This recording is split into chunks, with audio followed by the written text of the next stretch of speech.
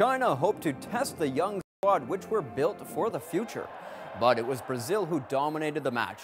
Doria's goal in the 21st minute puts them ahead 1-0, while China had few chances in the first half. The host nation saw their opponents double the tally just before the break. Wellington Silva's cool finish put Brazilians up 2-0 at halftime. China looked to pull a goal back after the interval and were rewarded with a penalty in the 67th when Liao Lisheng was brought down in the area. Liao from Guangzhou Evergrande steps up from 12 yards to make it 2-1. And the hosts pressing late for the rest of the match, but Brazil would hold on for the 2-1 victory and grab the title in Wuhan.